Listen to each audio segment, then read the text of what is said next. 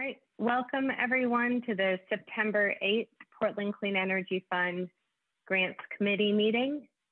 Um, we're gonna start the meeting as we always do with some virtual participation guidelines. Um, committee meetings are open to the public. The public is invited to comment at around 6.05. Um, and for today's meeting, as we do every other meeting, the public is invited to um, go into breakout rooms and chat with a group of committee members. And so that will be happening today at about seven o'clock for about 20 minutes. And um, then of course, there are other opportunities to engage with the staff and with the program at other times. The chat box is open for introductions. So if you wanna put your name, if you have an organizational affiliation, and if you have gender pronouns you wanna share, just put those into the, um, into the chat box now. And if you want to provide public comment, also indicate in the chat box that you want to provide public comment so that we can call on you and ask you to um, do that when the time is right. Um, the raise hand function and the video, we ask that those are only used by committee members and staff who are participating in the meeting with the exception of the um, during the public comment period. If folks want to turn their video on, they um, are certainly invited to do that this meeting is being recorded and it's also being um, li it's being live streamed on on YouTube, and so you can watch the you can watch it on the YouTube channel later. Um, if you're interested, for people who are viewing via YouTube during the breakouts when community members can um, are having conversation with committee members, you'll just see a, a, a, screen that says break for about 20 minutes. Unfortunately, there's not a way to connect those technologies. Um, this meeting also has closed captioning available, and you can find that by going to your Zoom menu bar and um, looking for the three little dots for the More menu, and then um, scrolling down to View Full Transcript if you want to see the live transcription. So I think that we will start with introductions. And um, again, for anyone who just joined, um, if you're a member of the public, please go ahead and put your name. And if you have an organizational affiliation you want to share, and if you have gender pronouns you want to share, then put those into the chat box. And um, Sam will introduce you after we complete committee member and staff introductions. So let's, I think we'll start with committee members, and I'm going to start with Maria. Hello, everyone. Maria Sipin, she or they pronouns, committee member. And Faith? everybody, Faith Graham, she, her pronouns, um, committee member. Jeffrey? Good evening, everyone. Jeffrey Moreland, committee member, he, him. Robin? Hi, everybody. Robin Wang, committee member, he, him. Ranfis? Uh, happy Wednesday, everyone. Uh, Ranfis Giannettino Villatoro, he, him, committee member. And Michael Edden Hill and Amanda Squenfanyazi are both um, excused from tonight's um, meeting. They're both committee members and Megan Horst is going to be joining us, but she's just going to be a little bit late. So when we see her, we might pause and um, let her do her introduction. So I'm going to move to staff and um, I'll start with myself and end with Sam. So I'm Katie Lister. I use she, her pronouns, and I'm a member of the PCEF staff. Wendy, do you want to introduce yourself? Hi, Wendy Kelfgen, PCEF staff, and I'll be uh, co-note taking tonight. And Janet?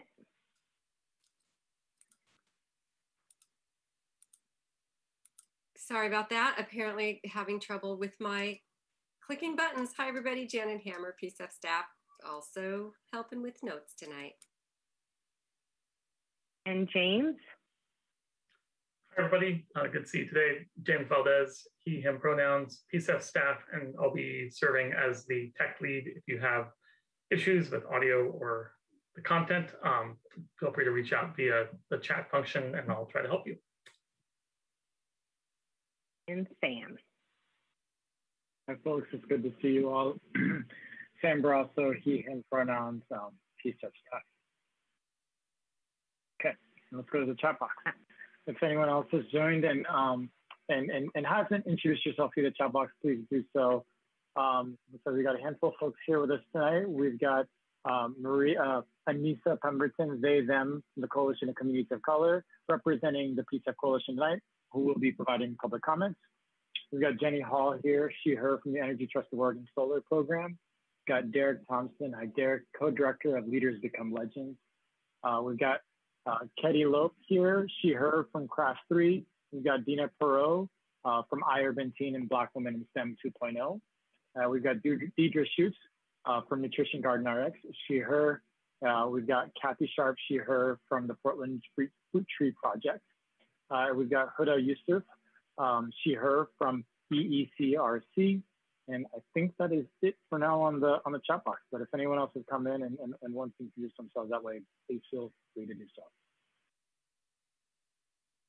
All right. Well, before we jump in, we do have one person signed up for public comment, and that's Anissa Pemberton. Um, before we do that, I'd like to ask that we start with um, reading the guiding principles to kind of center ourselves in the work that we're doing. And I'm just going to move to that slide so that folks can see it and ask committee members to um, raise their hand or just their voice and, um, and read out our guiding principles.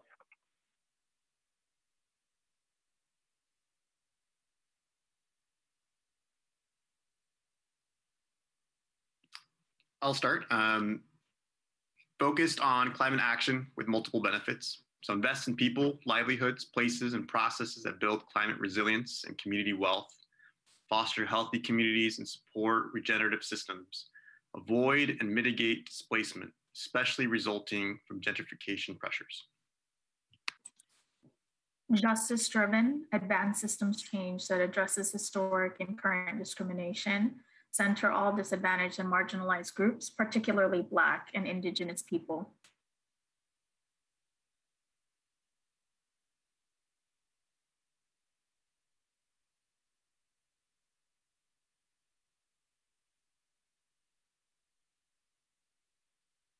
Jeffrey, oh, Jeffrey you're muted. muted.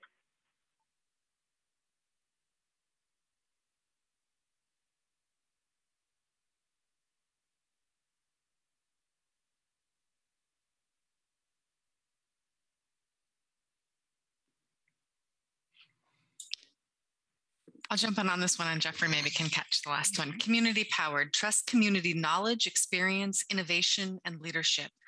Honor and build upon existing work and partnerships while supporting capacity building for emerging community groups and diverse coalitions. Engage with and invest in community driven approaches that foster community power to create meaningful change. All right, Jeffrey, you want to give it another shot? If you are called in on your phone, you might have mm -hmm. to do the star six thing. Oh, we hear you. We you hear me now? You, Jeffrey. Okay, perfect. Um, accountable. Implement transparent funding, oversight, and engagement process that promote continuous learning, programmatic checks and balances, and improvement. Demonstrate achievement of equitable social, economic, and environmental benefit remain accountable to target beneficiaries, grantees, and all Portlanders. All right. Thank you all. Um, I'm going to skip back to the beginning of the um, of the agenda here, uh, beginning of the slide deck here, and just um, kind of give a brief um, view of our agenda. Um, Sam is going to give a little bit of a timeline and some sort of a reminder about the timeline and program updates. And um, then we'll just jump into what will be the conversation for um, for the entire committee meeting, which is to a summary of the public comments that were received on the draft RFP2 material. So I'm going to turn it over to Sam.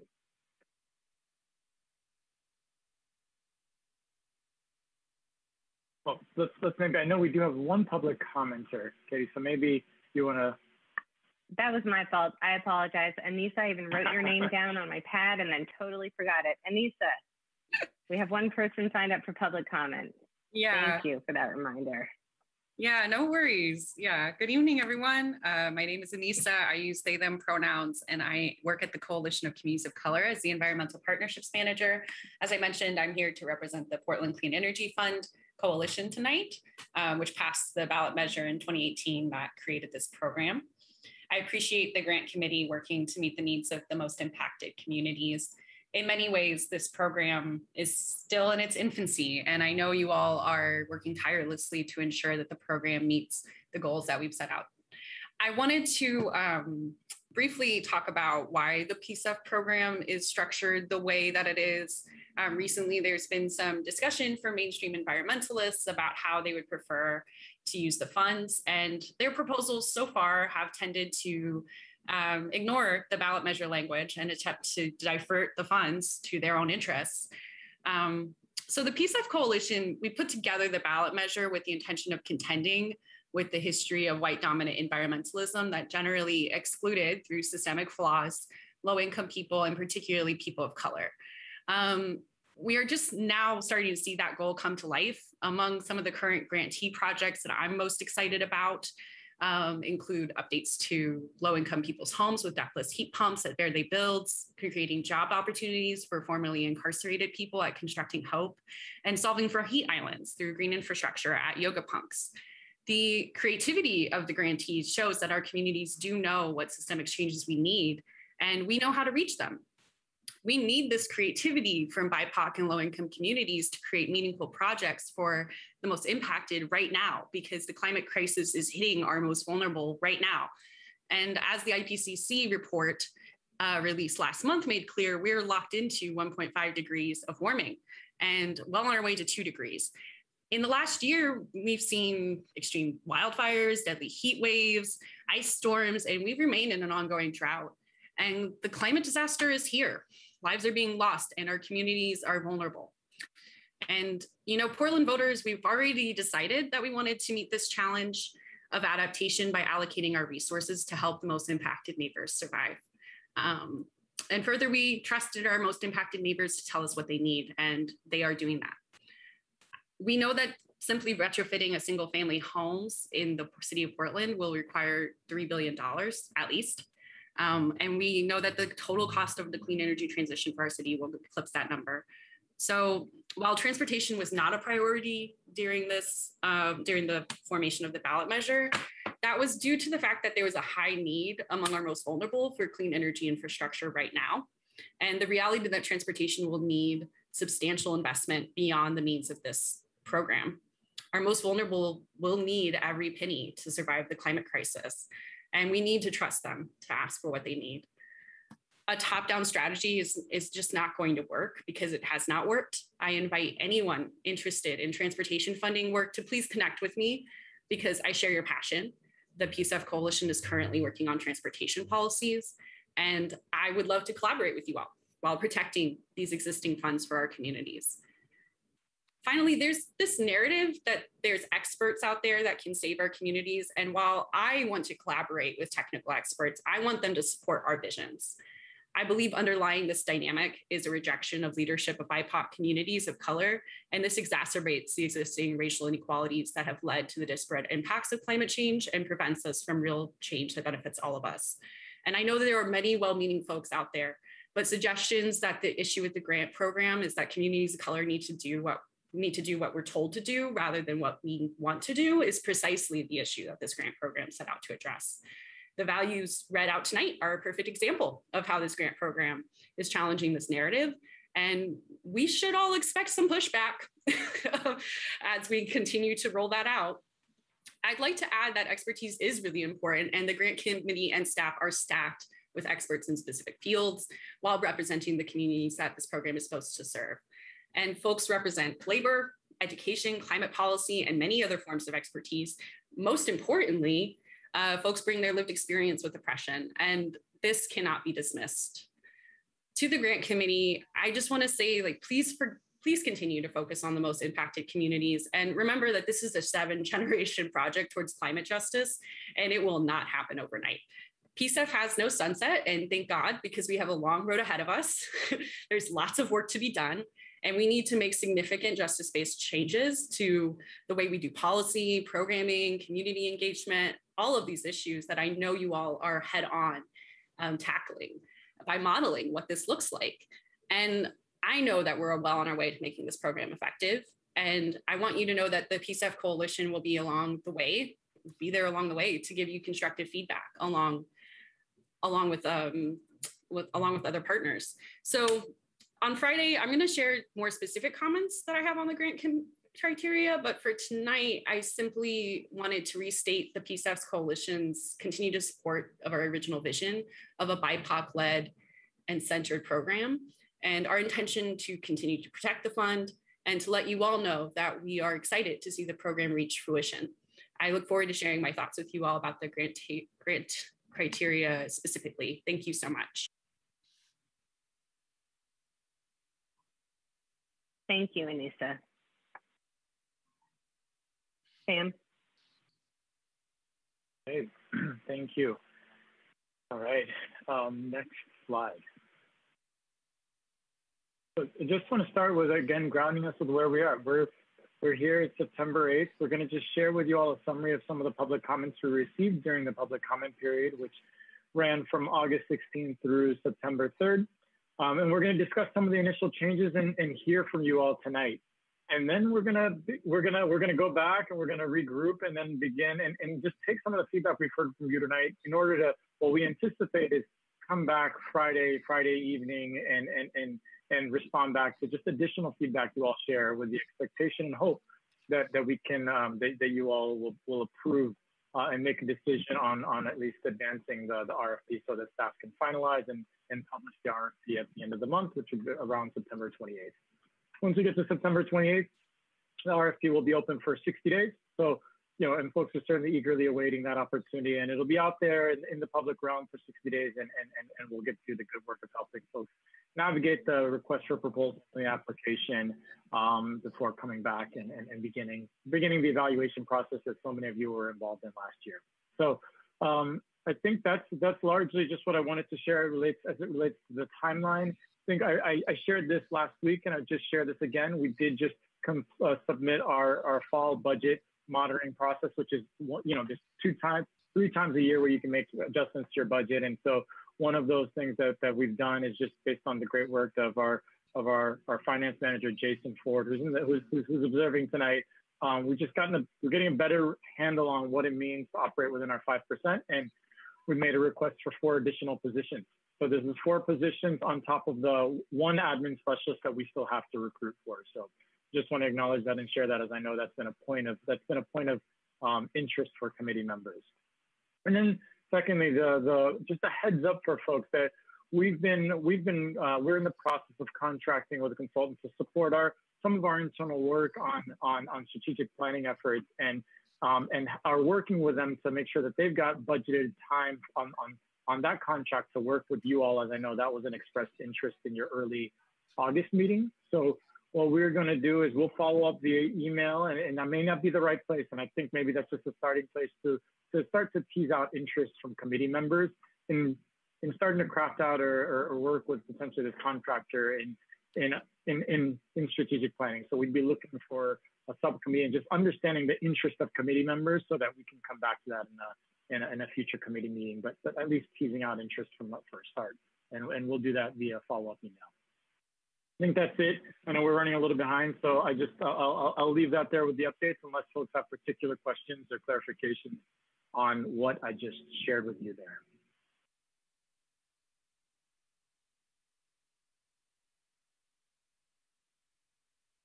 Okay. Okay. So, you know, as, as we get into a summary of public comment, I think what I want to just start before we jump into it is providing some background context. You know, leading up to this, and, and it's actually going to take place maybe in, in, you know, let's maybe advance the next slide. I'll, I'll, I'll share, I'll speak to it here in the next slide. So, um, leading into the first RFP, you know, there was a significant amount of labor and love poured in by so many of you all in subcommittees and our full committees. And it was really important to, to gut check that and test that out with the folks that would ultimately apply for the grants and just tease out, did we make it workable?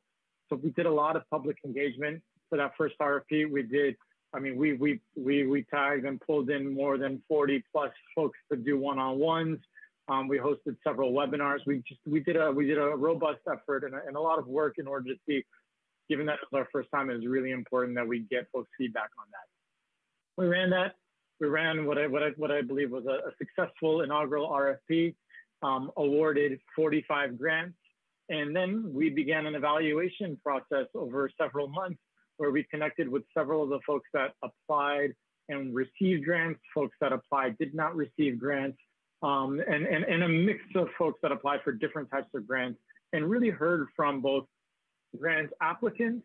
We heard from folks that started applications and didn't complete them. We heard from you all as folks that were engaged in our review process, staff members, and, and so many others as part of our, our evaluation process that went into shaping the, the second RFP.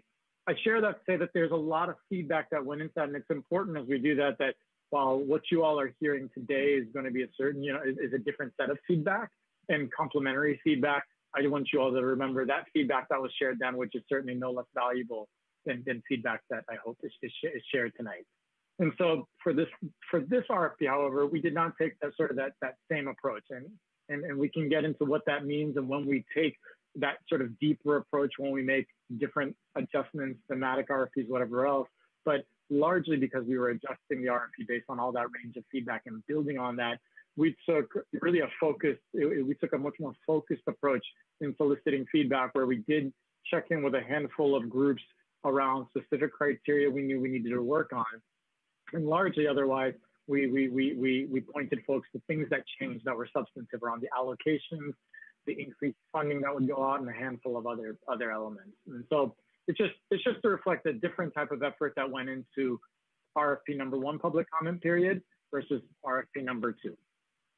And so again, this, this correlates to what the efforts that went into the first RFP. The majority of our respondents were nonprofits.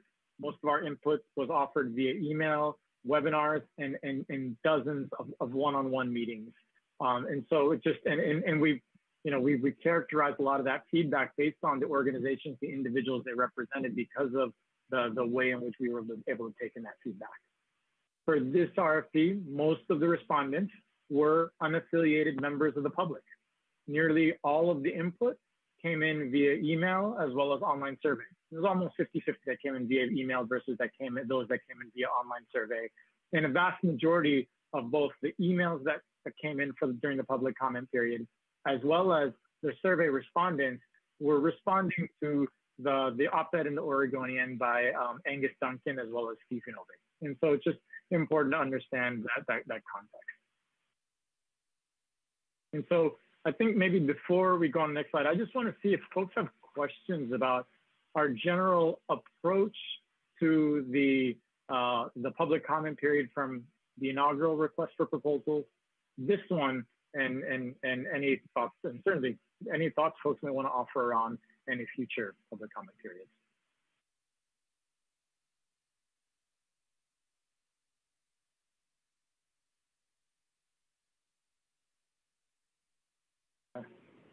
All right, let's go ahead and move on to the next slide. And this is, and partially what, these next few slides are going to do is we're going to speak to the fact that a substantial amount of the feedback in the public comments related to how we are how we are addressing greenhouse gas emissions reductions as well as cost effectiveness in the scoring criteria. Now, I want to start with just sharing when we released this public comment period, when we released the, the materials for this public comment period, the two things that we released, three things really. We released a document sharing the allocations that were that were we were proposing for this this particular this next RFP, and then we released each of the four applications we had drafted for this RFP, as well as the scoring criteria. What we did not release and what we did not share, and this is just it's, it's hindsight, it's, it's 2020, it's 2020. We did not release and share the entirety of the process that an application would move through because that process certainly has more than just the application and the scoring criteria. And so I think a, a, a substantive portion of the comments related to the, the perception that greenhouse gas emissions um, were, were, were, you know, a feeling that they were not um, highly prioritized in, in, in, in our, um, in, in the program. And I want to address that directly and share how they are prioritized and speak to that. So just that was a large body, and I would say a predominant focus of a majority of the comments was the fact that there is a there is both specific comments wanting to see cost effectiveness um, as, as, as heavily weighted, but also wanting to see greenhouse gas emissions more directly spoken to. And, I, and in this is an area that I even um, was exchanging emails with one of the other, uh, with Megan, who I know is in here right now, and it's largely resulted in some, hi Megan, uh, a missed opportunity around communications and just what we could have sort of pulled, pulled the entirety of, um, of, the, of the RFP together. So, and this is information eligibility criteria that will be there as part of the, the RFP that does get released at the end of the month, assuming that that's where we get to. And so I want to just start with stating first, every single project has to go through uh, and be screened for its ability and its whether it meets or does not meet the eligibility criteria. And one of those core criteria from the outset is that every single one of our projects must address both climate action and advance racial and social justice within one of the program's funding areas. And so just by that very nature, outside of, largely speaking, outside of the workforce and contractor development area, every single other project has to directly be addressing greenhouse gas emissions. Obviously, even workforce and contract development does so as well, but it's, it's, it's a little bit more indirect in that we are training people to be able to do that subsequently. But every other project needs to do so in some direct manner. And so that's just one clear thing that I know we missed, and it's something that I want to say very clearly here that the eligibility criteria is, a, is the first starting place that ensures that every project that comes in has to meet one of our funding areas and address both climate change and advance racial and social justice. And so just to go through those, that's either that a project has to, you know, meet, um, the, you know, align with the clean energy funding area. These are renewable energy and energy efficiency projects for residential, commercial, and school-based properties. So these are the things we typically think of when we think of um, clean energy, your solar panels, your energy efficiency projects. We've got our green infrastructure and regenerative ag. Now, these are projects that sequester greenhouse gases, oftentimes in the soils, but because of the nature of what they are, will oftentimes improve water quality, create a healthier environment, and other things. And that's just the co-benefits you, you often get with green infrastructure. Um, our workforce and contractor development projects are going to be, you know, need to provide some sort of job training, apprenticeship programs, support business technical assistance, with a focus on economically disadvantaged workers and businesses. And then lastly, we have this category of, of innovation or other, which is projects that don't directly fall in one of these other funding areas, but otherwise advance uh, and support climate, addressing climate change as well as advancing racial and social justice. It's within here that we propose that there be a special allocation for transportation projects to make sure they're clearly seen out in, in, in, in the, in, the, in the funding areas. And so this is just, I just want to emphasize this, that this is, this is the first screen that all projects must go through. And it's something that we didn't necessarily, we didn't share within the, the public comment materials. Um, and so this is the first screen. So the folks have questions about this, and, and eligibility criteria captures more than this. Make sure that projects are happening within the city of Portland, that it's, it's the projects are being proposed by nonprofit organizations and, and so forth. So there's other criteria that are certainly there, but as it relates to speaking to uh, uh, the substantive body of public comments, this is something that wasn't communicated in the public comment materials. So I'll certainly share more, but I wanted to start here and see if folks had questions about that.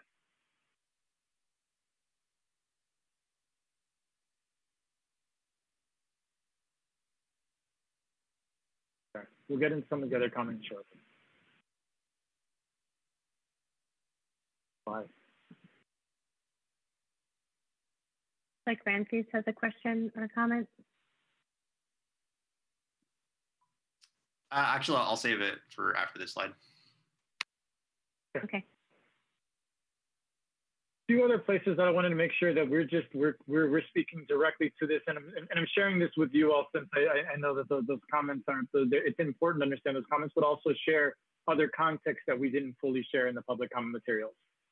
There are other ways in which greenhouse gas impact shows up in our application evaluation process. I just spoke to the eligibility, screening process um, and, and the fact that projects have to align with funding areas defined within the code. There's also technical screening. This is something that we do to make sure that a project can actually realistically happen, that, that it can be permitted, that it is actually a feasible project. Now, I want to be clear. This isn't, you know, we've talked about this before. This isn't about necessarily best practices. I think that that's an area where we, we can have a lengthier conversation about best practices and the subjectivity that lies there. But it is about making sure a project can technically happen and be implemented. And so technical screening is another phase that makes sure that a project as proposed can actually be implemented. And then there's scoring, which we'll talk into a little bit further about other criteria that relate to greenhouse gas reductions, as well as um, cost effectiveness and just how, how we balance those criteria, you know, whether it's and, and all the implications that lie within cost effectiveness criteria. Secondly, I want to speak to regenerative agriculture and green infrastructure projects. It's important from the outset to acknowledge that these projects will never compete well from a greenhouse gas emissions reduction perspective um, on a cost effectiveness basis with clean energy. That, and, and, and, I'd, and, I, and I'd argue that, that that category was specifically called out within the code.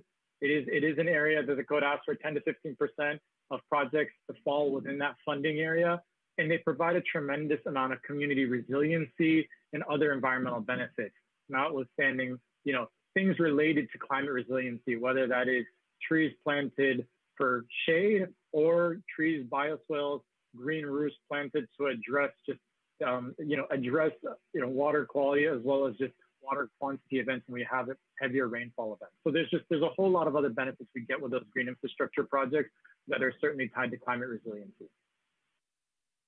And then I think before we, I, I, think we can just speak to a little bit of cost effectiveness. Cost effectiveness is a criteria that it is, and it is worth in, in the large grant application, it is worth eight points, but we're gonna get into how we balance that and see that as cost effectiveness as one criteria that speaks to greenhouse gas emissions and how that is balanced with, an, with other criteria, which was based on feedback you all received very early on. Um, this was feedback that was shared with, with, with us around what what, what, a, what, a, what, a, what a particular focus or heavy focus on cost effectiveness could do. One, it can, it can emphasize, you know, investments in things such as light bulb replacement, build, you know, building controls, things that may be quicker, lighter, easier touch, but don't necessarily go as deep as, as we, as, as all sort of the, all the top building efficiency experts say, we need to go deep in our, de- do significantly deeper energy retrofit. So cost effectiveness is an important criteria it exists within the scoring criteria, but it's also balanced with other criteria that we've created uh, over the past, you know, we've created, uh, uh, we've created and deliberated on in order to incentivize deeper, um, deeper investments and and, um, and and so forth, and making sure folks aren't just cherry picking the, the, the best investments, but going deep and and benefiting communities that way. Transportation is a it's it's it's a it's a it's a tricky one, and I, I, think that this is going to this is going to be a perennial conversation. I know we will we will revisit, and I just wanted to acknowledge that I know that there's there's deep interest, and I share this for less in some ways for the, you know the committee, but but in some ways for the for the public that we know transportation is important. I know that you all in the committee have, have, have emphasized your your desire and your interest in transportation, and yet uh, as as as Anissa as, as others have, have shared in the past, it's, it's it's an area that is going to certainly take investments that go well beyond the 40 to 60 million dollars a year we may invest. Um, and it's an area that as we take the program and implement it in the way that the coalition of voters thought it to be implemented, that we come back in a couple of years time and see where there may be gaps and whether whether whether whether that feels like the right place to shift to then. But but um, it was it was an area that was not explicitly called out in the initiative, and so I, we, we we know that that's an area we wanted to be clear for members of the public that we are going to be calling it out, so folks know where it is from us, so that they have the clarity that they know that we see it within the innovation fund, and that it sends a clear signal to them so they can appropriately plan their projects. Um, and then there's just this the, the, the, general approach. And so maybe I'm not going to speak to the last bullet because I think we'll come back to this on, on, on, on the degree to which we are as a, as a granting program in our orientation, the degree to which we are soliciting ideas from the community and, and, and providing sideboards around it versus the degree to which we are directed of the community. And so I think we can speak to that shortly, but I wanted to dig into a little bit more of how the greenhouse gas emissions show up in the scoring criteria. And then, and then we'll go to the rest of the, the, the. Ramses, did you want to ask your question or make your comment now, or did you want to continue to hold on to that? Um, yeah, I just wanted to share the appreciation of reviewing um, uh, these uh, last two slides. Uh, you know, I think it's a good reminder of what's been part of the process um, and uh, considering what's in the how we calculate sort of and, and, and consider cost effectiveness and greenhouse gas reductions. Um, you know, as I recall, we did have sort of slides sort of projecting uh, when we were looking at the portfolios before we adopted uh, the potential for greenhouse gas reductions. Um, you know, I think it's just encouragement, any opportunity we can to show folks the work behind the curtain because I think you guys are, are doing great work and amazing work. And I know you guys are all constantly wrestling uh, around many of these questions. And I know that the public input is really important. Um, so just want to, uh, want just appreciation on on these slides. Um, and I think I think for me, I think um, anytime I hear cost effectiveness, I don't always hear it. I, I, don't I don't necessarily always have a positive connotation to that. So for me, it's always as a committee member, what does cost effectiveness mean? What is that formula? Um, and, and, how does it balance with those other benefits? Um, and I think you know I think I think Anissa did a really good job earlier uh, today, sort of just sharing like the systems that we've had built in place that use a cost effectiveness model. And these are just more my words, not Anissa's, but um, uh, their comments uh, on this has been, you know, uh, from my perspective, has also been the context of huge disparities on who's benefiting and who, and, and, and disparities around the workforce and, and, and contracting. And I just, so I think I'm digressing here, but I do appreciate these these slides and I think just how it balances out with other other priorities from, from the initiative. Um, so anyway, just sharing my appreciations. So the next few slides are gonna we're gonna go a little bit further into scoring criteria. So it's sort of just to jog folks' memories. And so as you think about the feedback that was shared, you can look to each of the scoring criteria, how they show up, because it's a reality. What we've put together is, is complex, and it was intended to address complex situations that we've oftentimes left to the side and, and, and, and, focus on more simple programs. And, and for, for a range of reasons that all have their own merits. And I think, um, you know, for reasons that uh, there's, there's, there's, programs that have left that have left many many improvements that, that benefit and, and both from a climate emissions perspective, but also health benefits on the table for, for many years because of criteria focused on sometimes overly focused on cost effectiveness. So we're going to dig into the scoring criteria and it's going to be really focused on large, this is the large grant scoring criteria as, as a starting place. It's not going to differ much for small grants, but it will differ for workforce and contractor development applications. So we'll start there just to kind of jog folks' memory and, and it can hopefully spur a conversation here. You know, we'll have about, you know, we, we have about 10 minutes before we go for break. So I'm just going to move through the next all the, I'd like to move through all the points and then come back and give room for conversation, if that works. Okay, next slide. And maybe Sam, just real quick before we move to the next slide, just a reminder to folks that the cost effectiveness criteria is labeled GHG impact and how that's calculated is, you know, calculating the GHG impact divided by the um, PCEF grant request. Okay. So these are the five criteria that are, in a sense, directly related to the, the greenhouse gas emissions reduction, and so most closely related. So the one, you know, the one criteria you have here within the scope is about the, the fact that the services, activities, and timeline described will realistically result in the intended outcomes. It's saying that this project, as as proposed, it already that meets the eligibility criteria is, is, is going to be able to line up and be implemented within this timeline. We have, and that's about five points. We have about two points set aside for um, to, to incentivize and, and, and, and score whether there's an appropriate plan to maintain a project for its full useful life. This criteria doesn't exist within the smaller grants, but for large grants, it was, it was, this is one of the differentiators. It was important that if folks are installing solar panels, that they purchase a warranty so that there is an inverter replacement happening at year 15 or 20 or whenever that that's due so that we can utilize them for their full 25 years. And so, or, or that there's a maintenance plan in place for green infrastructure projects to make sure that the trees that are planted tomorrow don't die off a few years as they're, as they're, as they're young and need that extra support. Um, or just to, to make sure that folks are properly using the things that are installed within their homes and that there is a, there's a plan in place here. So it's just, it's, it's, this is really about making sure the things that we're investing in, that we're able to fully realize the greenhouse gas benefits over the over the full life of those investments and that those aren't short-lived. And so that's just another way in which we're putting that emphasis on, on greenhouse gas emissions and making sure that that fully comes through. There's indirect greenhouse gas sequestration criteria. This is about teasing out to what extent a project can create indirect benefits. And by indirect, we mean that projects can have an education component can have a community engagement component that may promote other folks going out and doing something.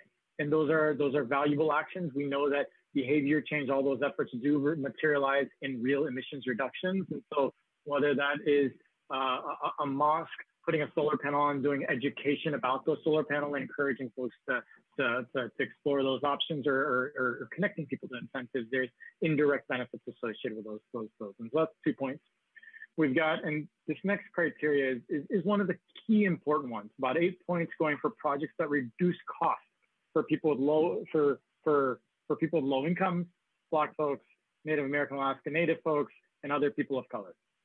Now this criteria is where we really were balancing the cost effectiveness criteria, which is the, the last criteria on this page. What we were indicating here and what we were promoting here is saying that we want emission. this is a lot of discussion. Do we want to go shallow and touch a lot of homes, or do we want to go deep and drive real benefit and real cost savings that materialize and accrue in people's wallets? And so this was that criteria here that was driving for um, for cost savings, utility savings, at least 25% was the scoring criteria for the most points. And so that's just one way that we take cost effectiveness, which is important, but also balance it with a criteria that that that that that pushes for deeper energy, deeper that prioritizes or incentivizes deeper um, deeper retrofits, um, deeper, more more more uh, highly beneficial green infrastructure projects or regen ag projects. Okay, next slide. So it's about 25 points there. And this is all saying that already these projects meet these thresholds. Now there's an additional 18% of the points that are very much highly correlated with greenhouse gas emissions reductions, but not directly related to necessarily. So oftentimes we've got six points associated with providing health benefits.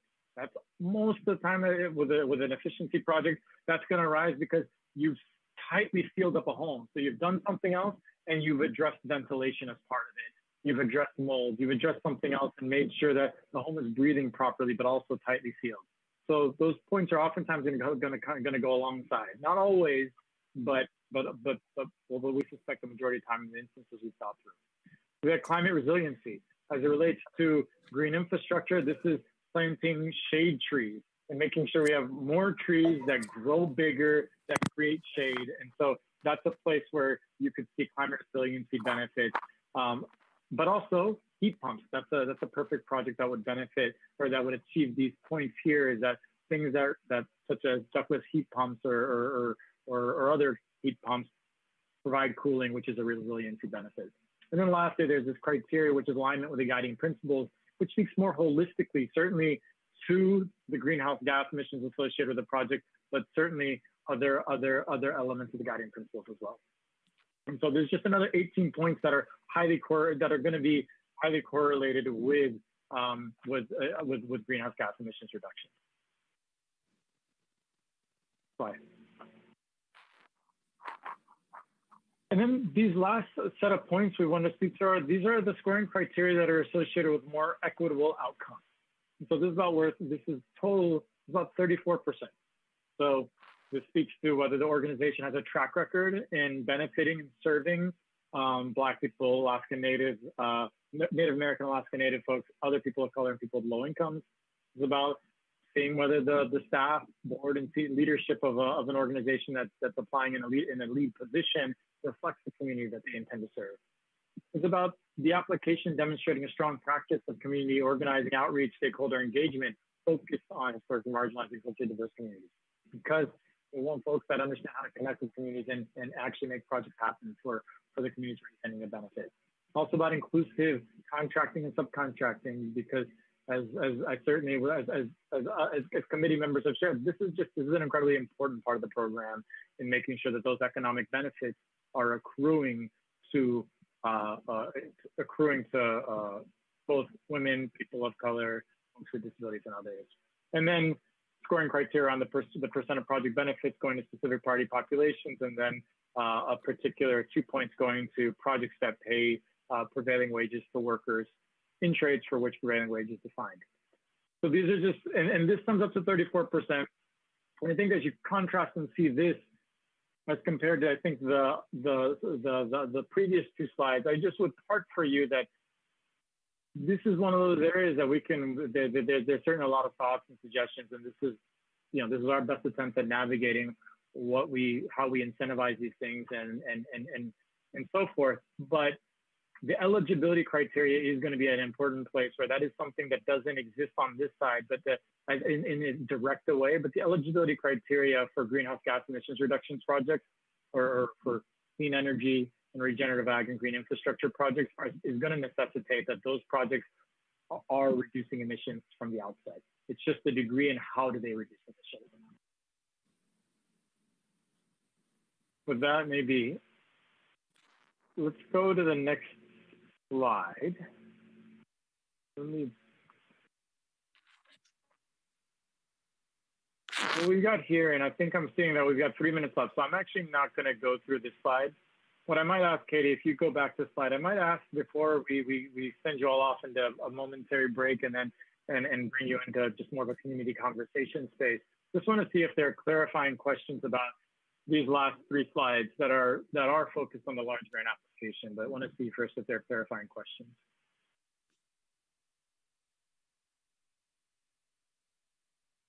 Robin? I don't really have a question, just more a comment. First, I really appreciate uh, you sharing this. Um, you know, for those of us on the committee, we're not in this day to day as deep as, as you guys are. And I remember talking about a lot of this stuff and having discussions about a lot of this stuff, but um, this stuff doesn't jump out at me. So I really appreciate you, you sharing this with us. Um, if you can go back one or two slides, uh, this is just more of a comment. Um, and uh, I just have a, a, a, slightly different opinion. Katie, uh, this um, this one, oh, no. the one that has guiding principles at the bottom. It has the guiding principles at the bottom. Yeah, maybe the board. Next uh, one. The next one. Yeah. yeah. So okay. I, I I would almost put this one uh, in the previous slide.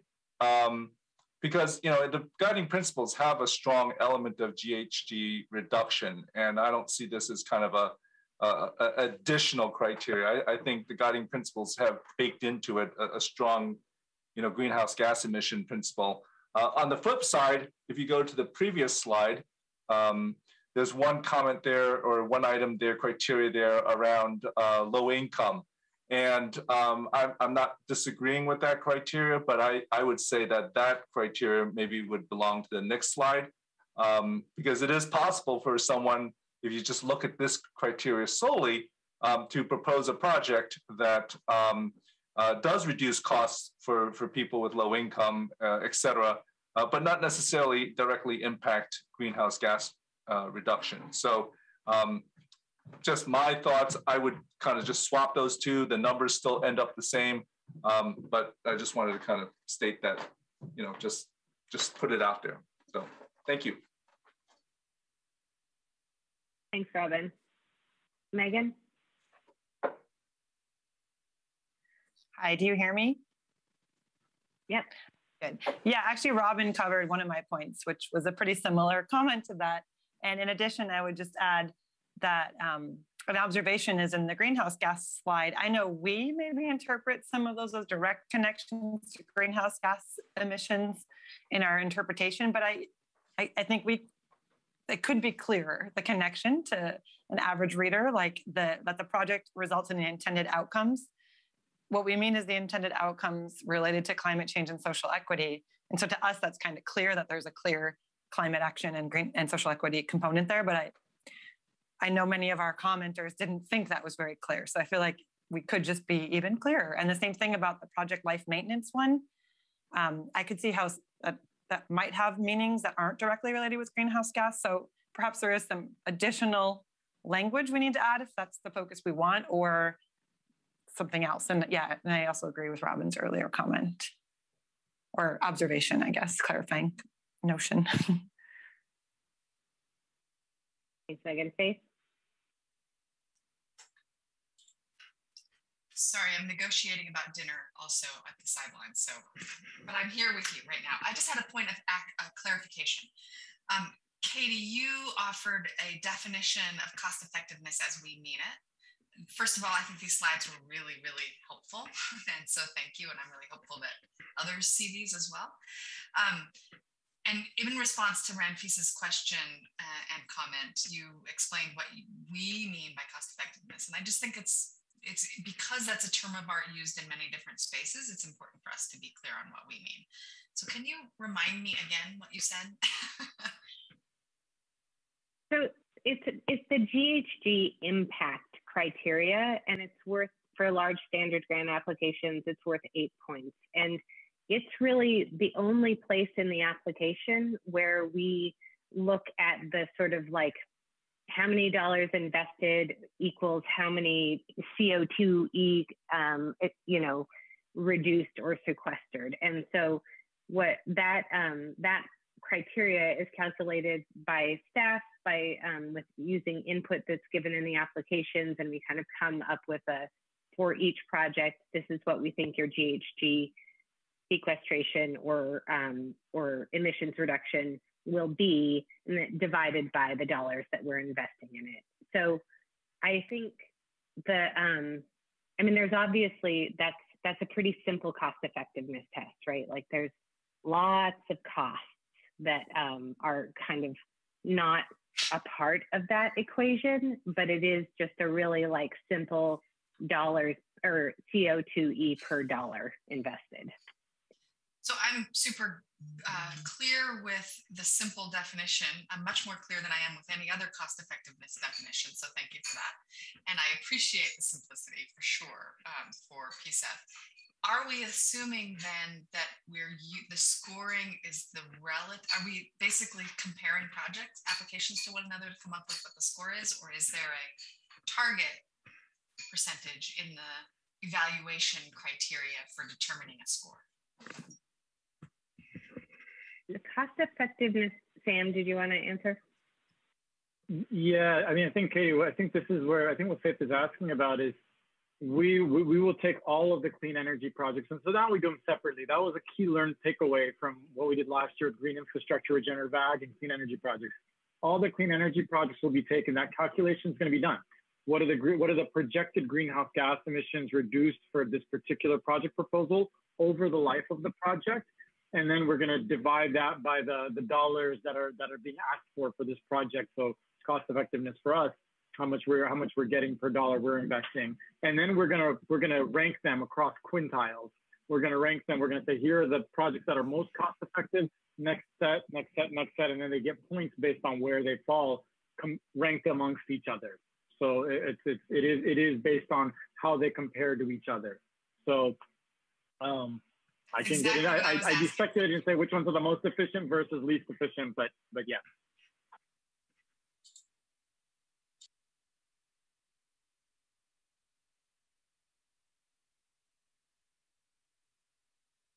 If there's no other questions right now, I think we are just about four minutes over and we're gonna jump back into this same conversation um, when we come back. But I, I don't wanna wanna try and um, remain accountable to the public who showed up and um, might have an expectation of hopping into a breakout. So we are going to start that breakout, those breakouts about five minutes late so that we can have a true five minute break. So if everyone can turn off your cameras for five minutes and then when you come back at 7.05, James will separate committee members into different breakout groups and members of the public will be able to drive themselves um, to different breakout groups if they're participating with um, via Zoom. All right, see you back here at 7.05.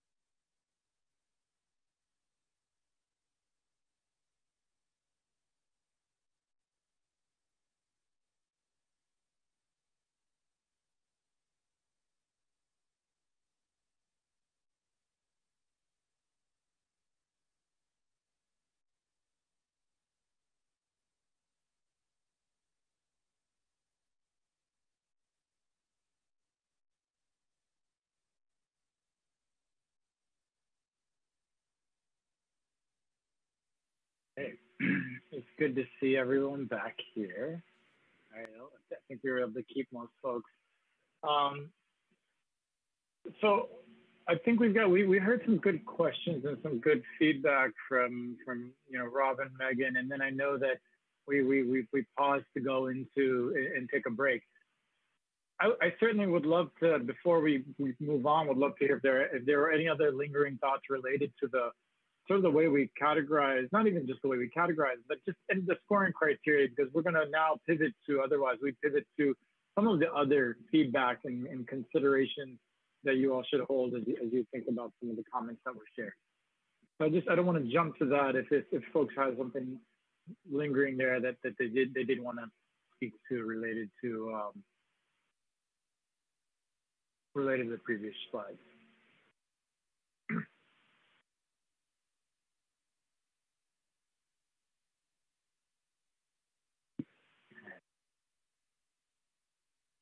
All right. So I'm going to speak to the next set of, you know, other other other elements that came up in the comments. And I think these really these next three bullets are going to be coming and, and, and largely were in response to the op-ed by, by Angus Duncan as well as Steve Novick. One, there was a, just a general concern related to accountability to outcomes that, that, that were raised. And I think the it, this is this is going to be a perennial challenge in terms of just communication, and and it, it's certainly work that is that, that we're doing, but you know there is there's rigorous reporting that that we that we expect from our that our grantees, you know, on a quarterly basis, both on what they've done and and, and backing that into what are the GHG emissions associated with each of those those those widgets that they've installed, the acres that they've planted, um, as well as you know, for the, the folks that they've trained as part of their their efforts and and, and, and jobs potentially and placements that they've landed. So there is there, there's a, there's a range of reporting, but I think this is just a this is a placeholder and this is work that I know we need to come back to and, and, and support the subcommittee in doing. But there's also just how we share out and report to the public on on the outcomes of the program and, and how do we speak to that? And it, it certainly comes back to how are we telling the success stories of the program, both in the the real stories of the projects that are coming through, but but also how are we collectively uh, speaking to the, the outcomes of the program. And so that's that's that's um, that's a conversation we've picked back up within the committee so that we can bring that to the, the reporting and evaluation subcommittee and, and and, bring folks back together as, as we've been, you know, I know a lot of our attention has gone to focusing on this RFP. So it's just that, that that's work that is happening. That that's work that has been happening in the reporting and evaluation subcommittee, and we'll be we'll be prompting that as staff to, to, to, to bring the group back together to come back to that shortly.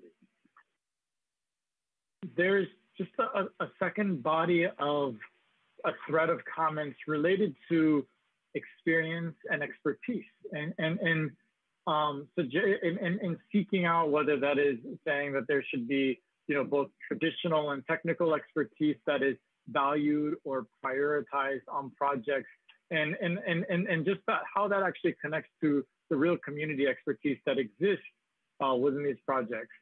Now, we certainly, you know, our application is set up so that we are able to both, you know, look more holistically at experience and how project teams are coming together and bring that experience, um, acknowledging that there's both real community expertise in connecting with community and building trust with community, both in, in, in the ability to go in and go into folks' homes, as well as uh, the ability to get folks to engage with projects. So I just, I think there is that, uh, I think it's, it's different perspectives on what that looks like. And that's something that we're going to have to consistently um, be able to speak to is um, we absolutely value experience and expertise and, and, and really breaking that down in terms of understanding what are the different experiences and expertise that, that is that is relevant for us to, to be able to for us to both evaluate and, and speak to.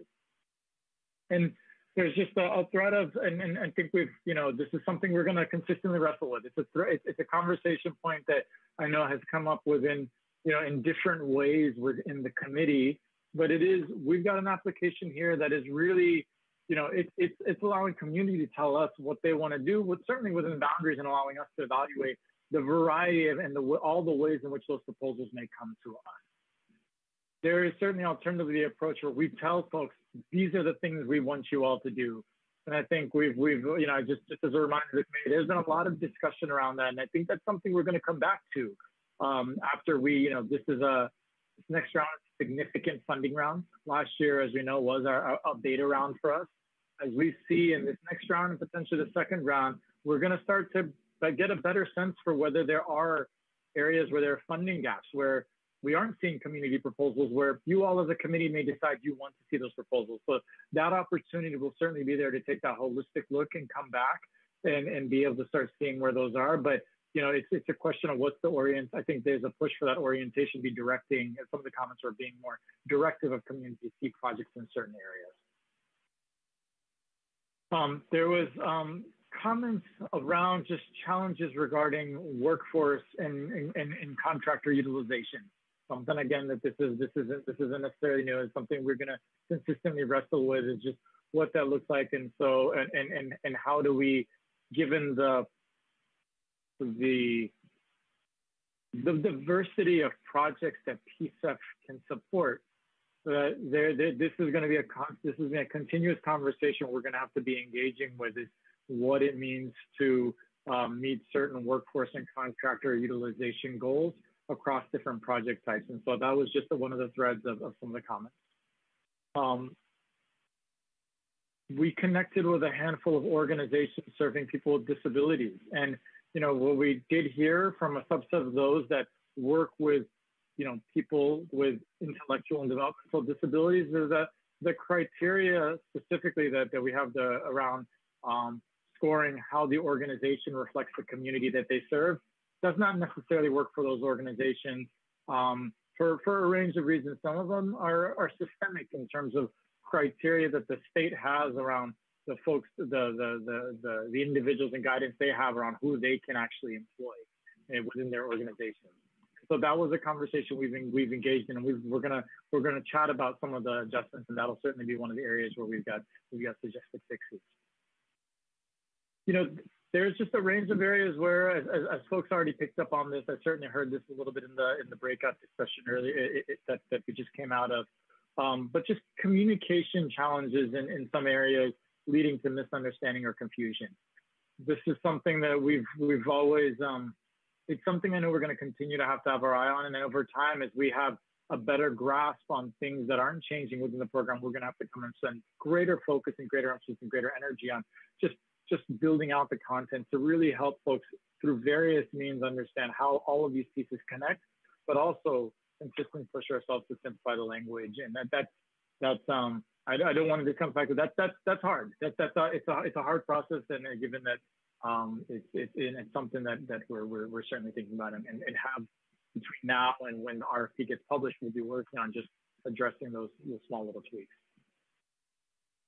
there was just feedback around whether you know whether we would do partial funding or whether it's really an all or nothing. That was just that was again raised. It's something I know that was raised and discussed last round, but that that that was something that was raised in the comments. Um, and then just an interest in the city identifying benchmark projects that the grantees will do, and it's, just, it's various threads to um, provide examples, and that's something that's stuff that we will do. We will elevate the examples of last year's funded implementation grants and make sure that connecting with grantees that we're appropriately speaking to those projects. That's something we will do, but also whether there is there's a there's a there's a place to provide more sort of benchmarking or guidance.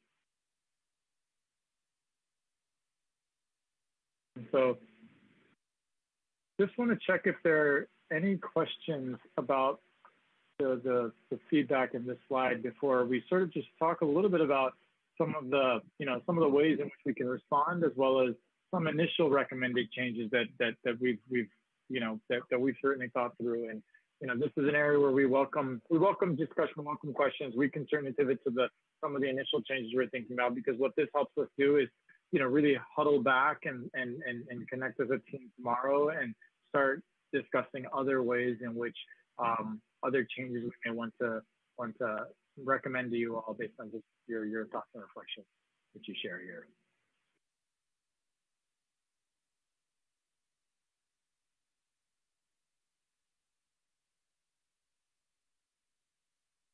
You're muted.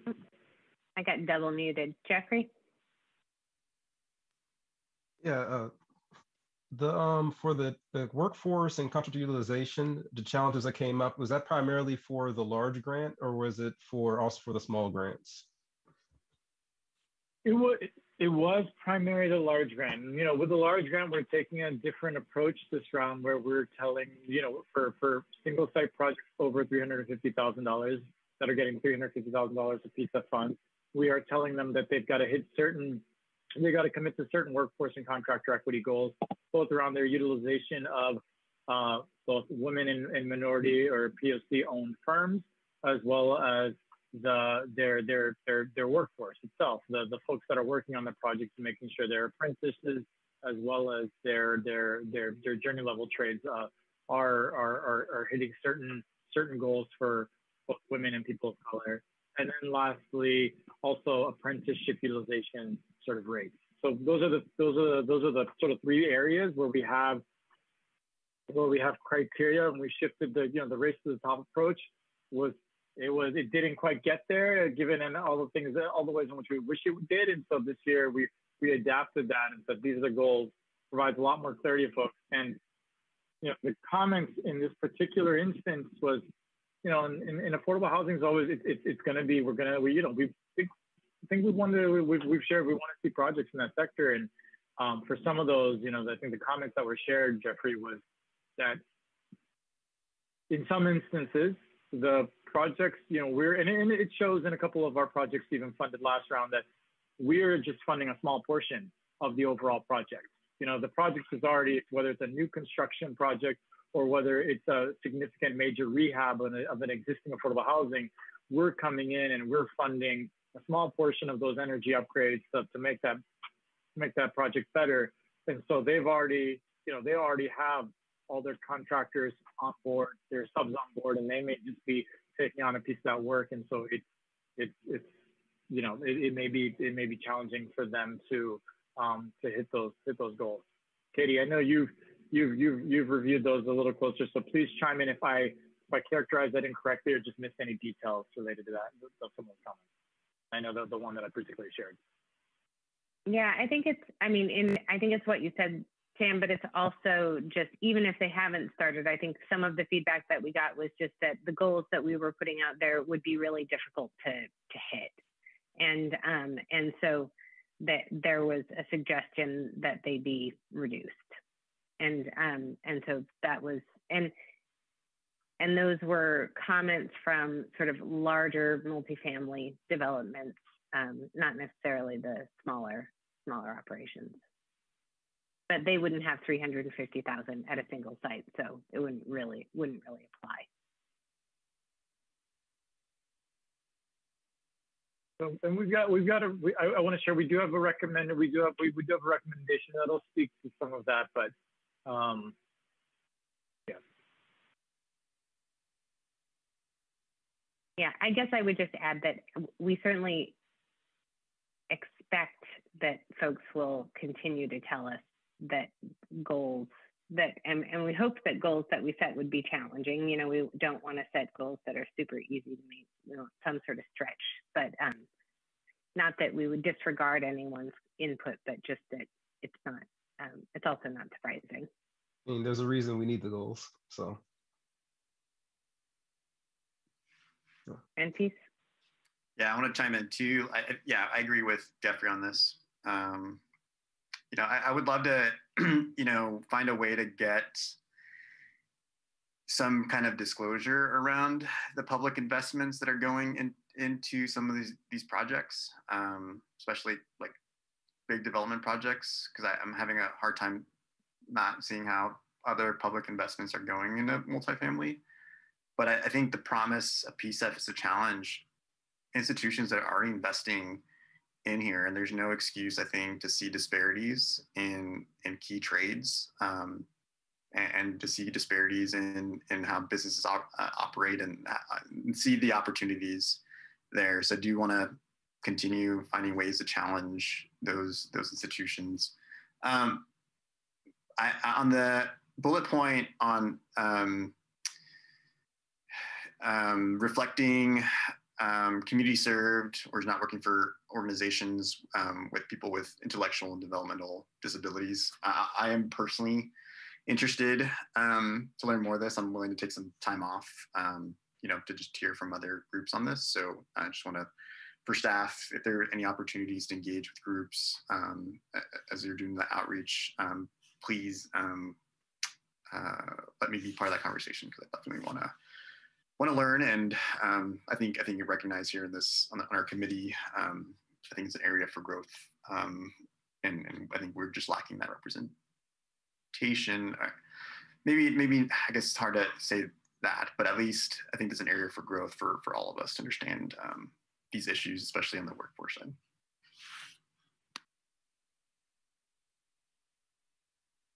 Thanks, Francis. Got Jeffrey and then Megan. Yeah, kind of just to reinforce what Ramfis just said. I mean, a lot of these projects that they're talking, especially these profit development projects, they traditionally have been the ones that have locked people out of the industry, just being quite frank with people. And then on top of that, you know, I've seen big, bigger projects with way more money on the line uh, get get higher diversity goals than the ones even you guys have um, established on this. So I kind of think there's a cop out and kind of the you know the, the status quo kind of deal. So I just want to say that for for the record. But yeah, this is this is this is there's a reason that we need to need to have aggressive goals like these because of how traditionally how things have been operated up to this point.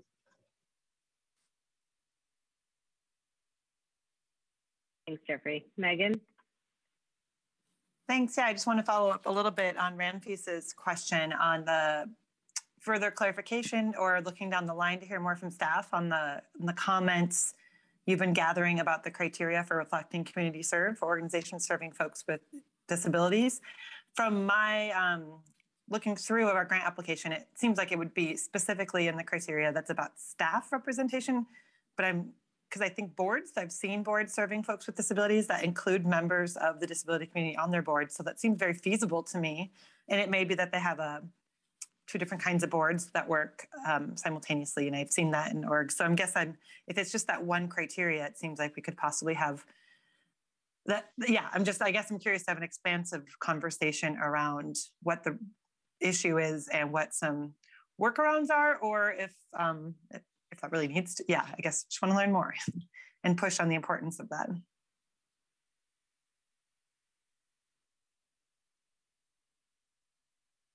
Sam, did you want to speak to that at all? I mean, I will I will share that and I think that we need to sort of like compile some of that. We um, compile some of the sort of notes and email traffic that we've been having back and forth with folks. But um, we've been really learning a lot about, we've been learning um, some about some of the like systemic um, barriers to being able to meet those thresholds.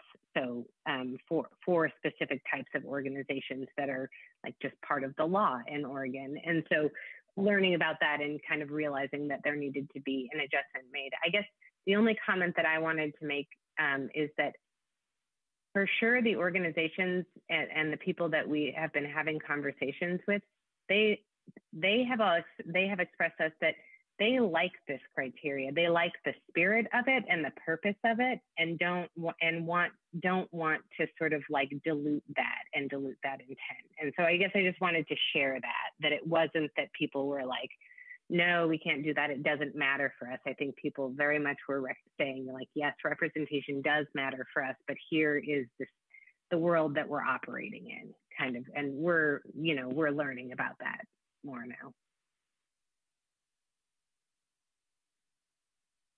Katie, I think that's that's, that's I appreciate that. That's that's I, I don't have much.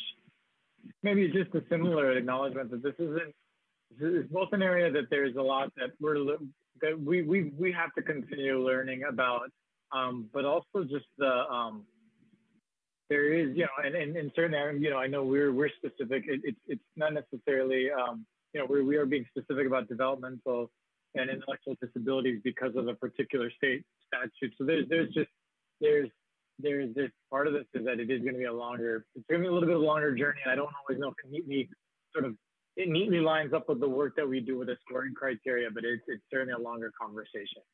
Um, and, and, and we'll, um, we're happy to to whatever extent, if it's if it's as it relates because we do have draft language we've shared with folks and we've, get, we've gotten feedback, and so we'll bring that back to you all on Friday around how to adjust this criteria to be responsive to this this, this feedback. But um, it's it's uh, I know that this is this isn't going to be the only time. This isn't to be this is going to be the only adjustment. But this is one of those that we've got to be in conversation a bit longer.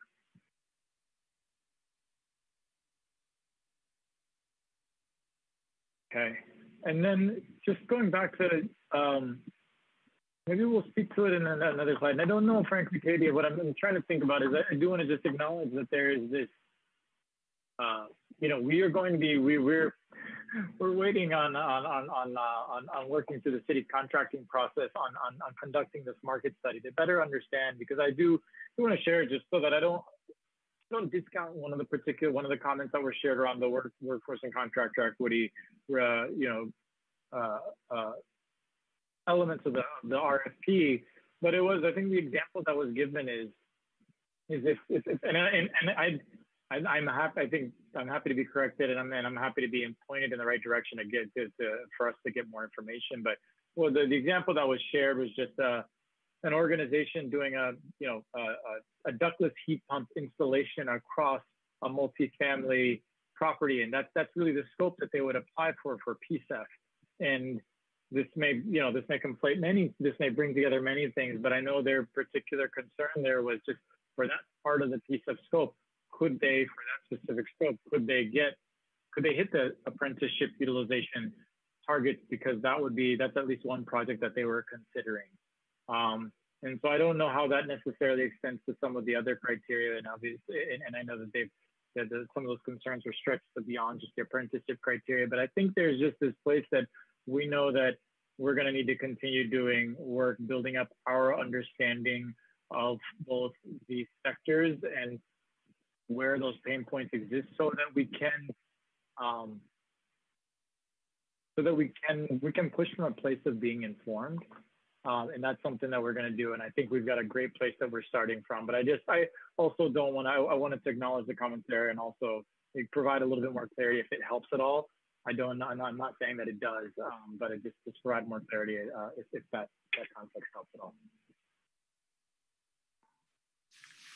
Yeah, on that, on that comment, Sarah, uh, Sam, I don't want to take too much more time on that, but um, yeah, I think, I think uh, for every and I think I've noted this in my comments in the past, but I think every anytime we're considering apprenticeship, you know, goals, like I think making sure that we're considerate of each skilled crafts um, apprenticeship ratios. So the apprenticeship ratios for, each classification is different. Different. So an electrical worker could be really different for um, an HVAC installer or I guess in this case, uh, someone in, in uh, installing a ductless heat pump. So I think I think there's there is a very um, important um, uh, technical consideration, and I think I do want to strongly encourage staff to reach out to um, and their state apprenticeship training um, council. And I know we've had Steve Sims in the past, but I think um, I think there's new leadership there, so it's worth reaching out if there's an opportunity for that.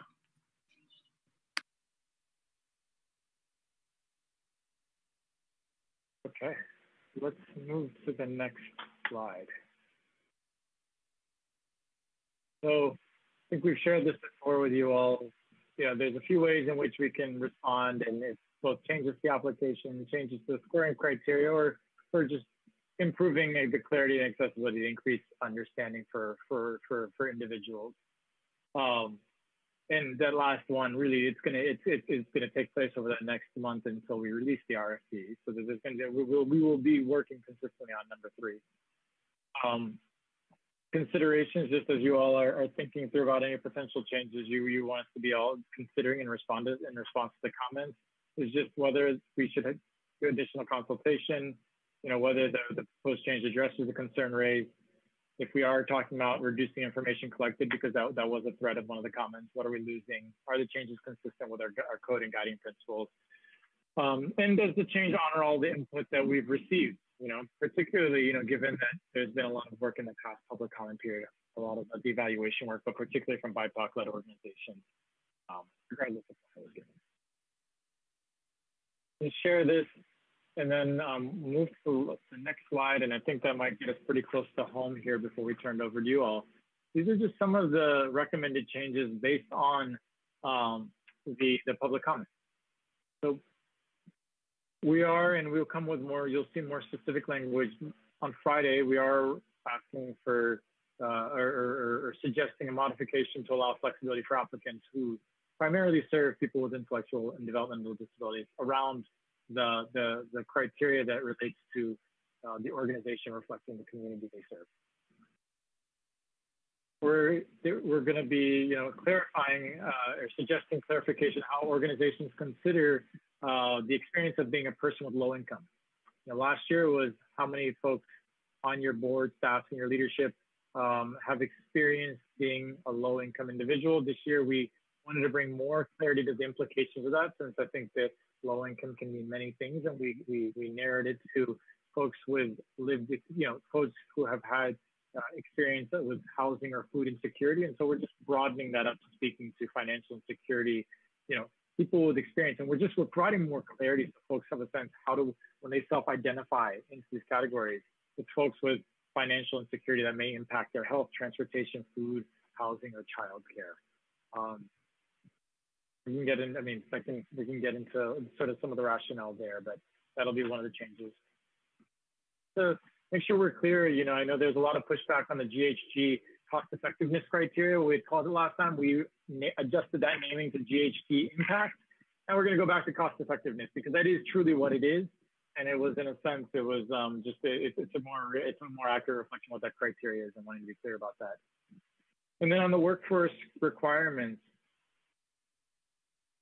this is this is one area that, and, and I know we've we've talked about this, so I welcome feedback. Jeffrey, likewise, is just adding a demonstration or documentation of good faith efforts to comply with the workforce utilization uh, commitments and workforce goals, so that it gives us so that we can so we can better push an understanding uh, where where where that is that that's going to be a clear expectation for folks that they're going to that as we work with folks on projects then we get a better sense for um, how they're how they're meeting our goals that we're going to require them to demonstrate and document their good faith effort.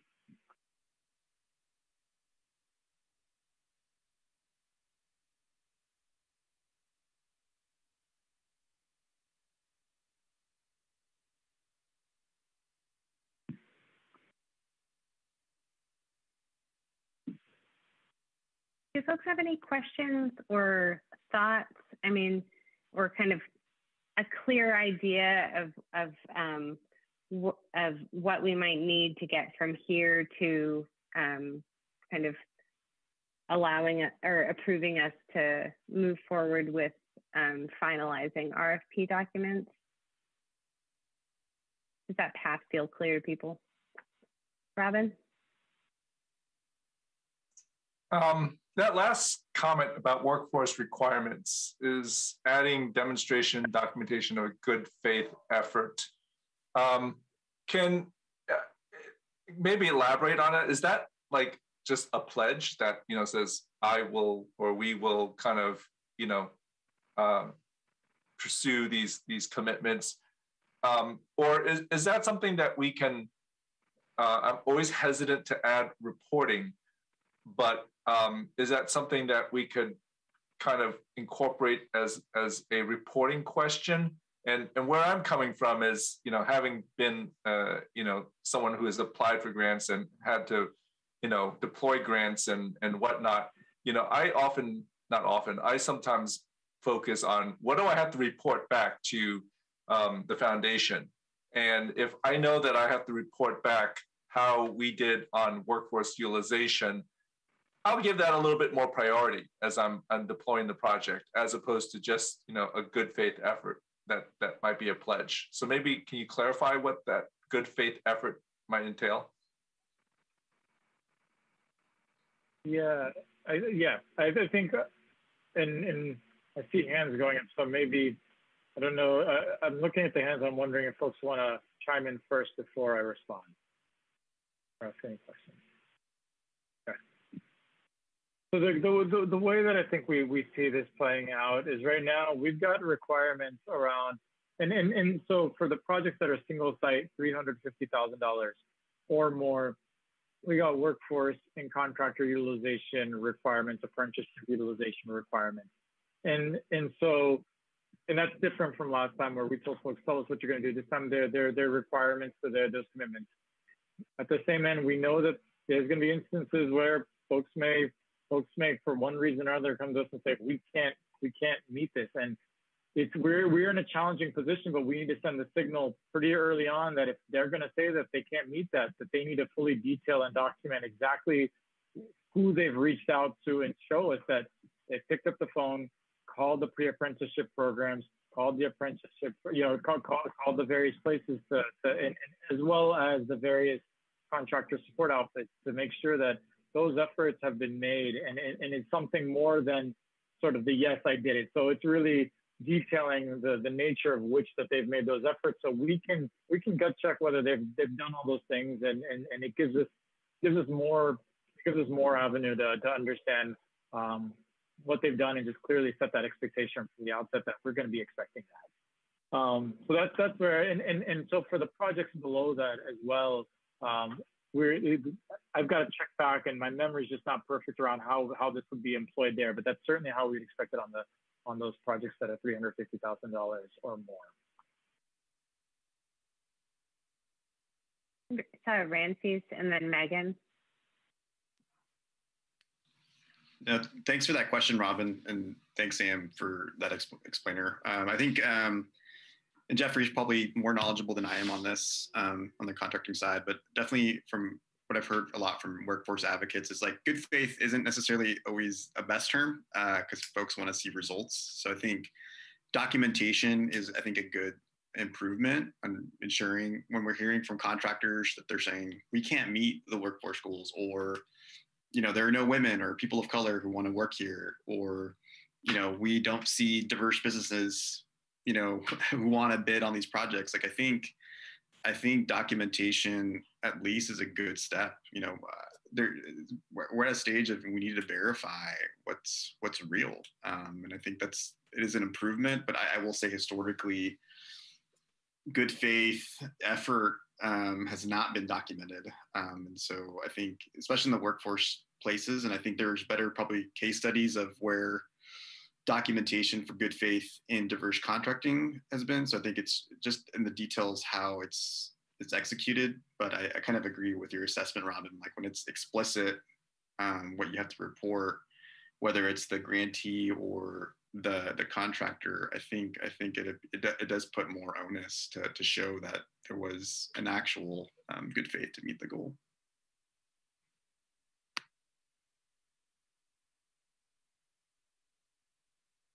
Megan? Hi, my, my comment kind of goes in a little bit of a different direction. So I don't know if any, if Sam, you wanted to respond or is it okay if I just plow on?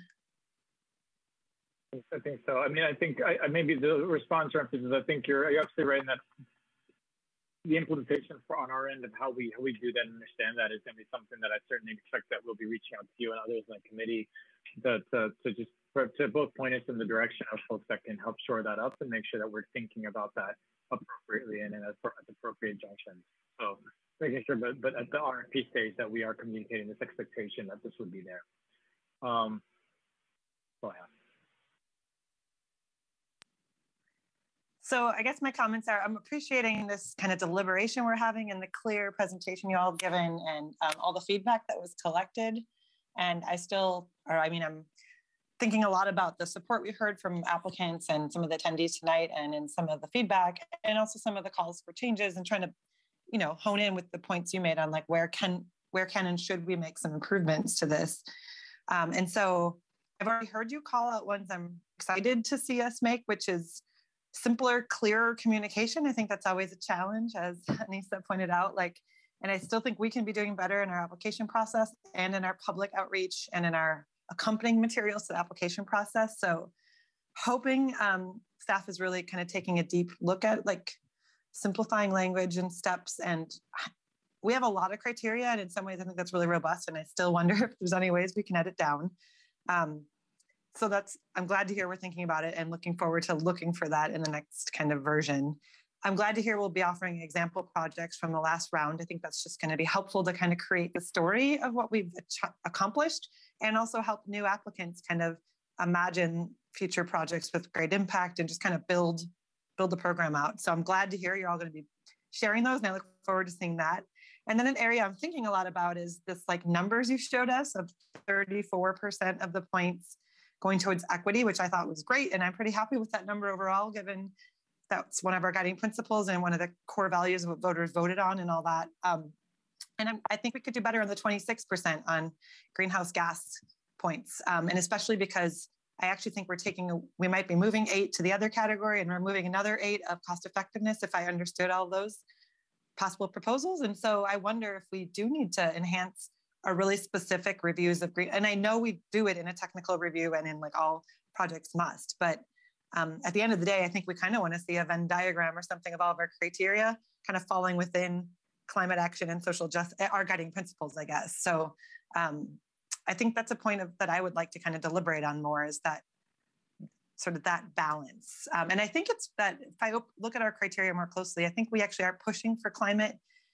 stuff in some of the other criteria too, or we could be in um, just by asking, but uh, I, I, think that's a kind of an area of deliberation for me and thinking is that that point. So that's, that's what I have right now.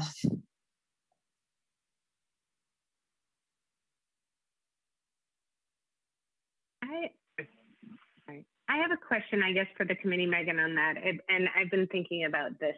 Um, I mean, we've all been thinking about this uh, on the staff a lot. I think um, if kind of if the outcome that we're after is sort of um, increasing GHG emissions reduction and trying to figure out how to do that within our scoring criteria and our and the way that we evaluate things I can't really think of um, ways to do that other than prioritizing larger projects that do that have do more GHG or increasing the val increasing the weight associated with cost effectiveness. So like if you have $20 and you want more of something, you either have to like get more dollars and buy more of it, or you have to, you know, buy the least the least cost of that thing.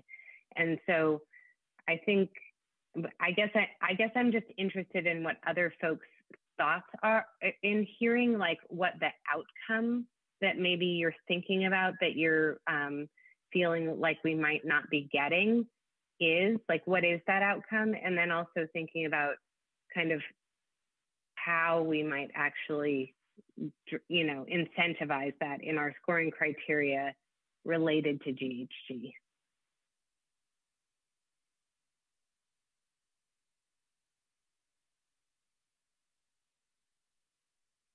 And, and if it helps, we can scroll back to those slides if that's something that'd be helpful since. Robin?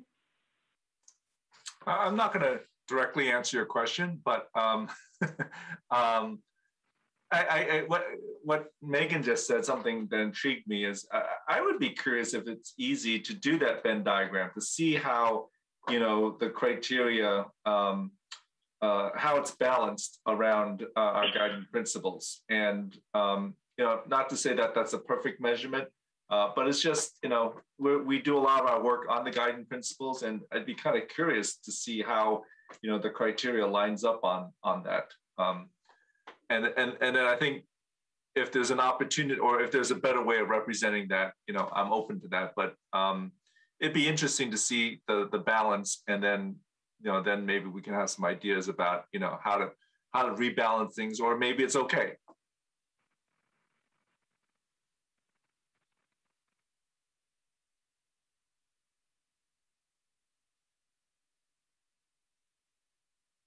We can I know that we can conceptually, I know that we can conceptually scroll back to the, the, the earlier slides with the tables, and but it isn't. It's not going to be the same visual. We can talk about where they, they look, but um, that, but it may just be better to prepare that Venn diagram and come back to that. What maybe in in in that. Um,